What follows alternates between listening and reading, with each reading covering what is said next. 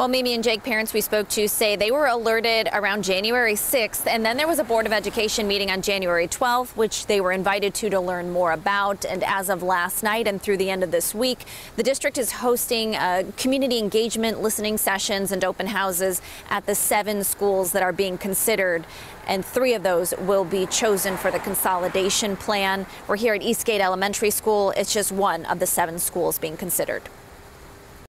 These Eastgate Elementary kids have a lot of learning ahead of them, but what they've already learned is they love their school. I think they raised um, $275. $275 raised at a bake sale in hopes of saving their school. Other students writing letters asking to keep their school. Eastgate is one of seven elementary schools the Bellevue School District has on a list.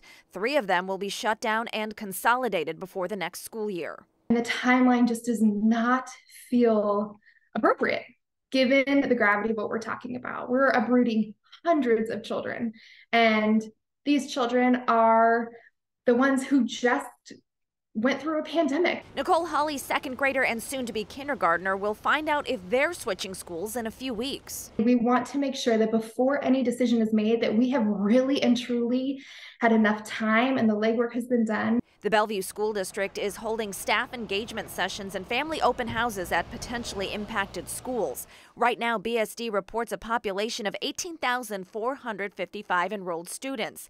The district reports a loss of more than 1,800 students in the past four to five years, but the decline started before the pandemic, according to the district. Holly worries about her kids losing their neighborhood school. She worries more for families she knows do not have cars, those in need of school meals if it's not walking accessible, you are putting some families in a very difficult situation. It feels like some communities matter a little bit more than others, and that some communities are okay to disrupt.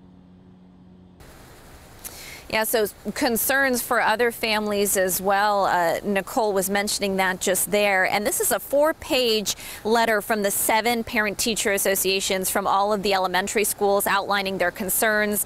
A lot of it transparency, how quickly all of this happening, and also their concerns for families that don't have resources, as Nicole mentioned. They're just hoping that uh, all of the schools and all of the students' concerns are looked at carefully. Of course, this is a difficult decision for the district to make. Uh, parents told me that they were told about February 9th is when they should expect that decision to be made on which three schools could be shut down and consolidated.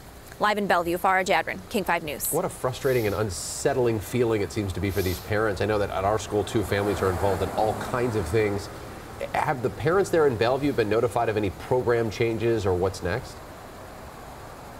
Uh, well, the district told me that as of right now, they are keeping 100% of all the programs as a part of this potential consolidation plan. They say they aren't cutting any programs, and in fact, they could be adding some. So that is some good news out of all of this uh, concerning batch of news that parents are receiving. So as of right now, it looks like programs will stay put as of right now. All right, good news in that department. Thank you, Farah. Also, we reached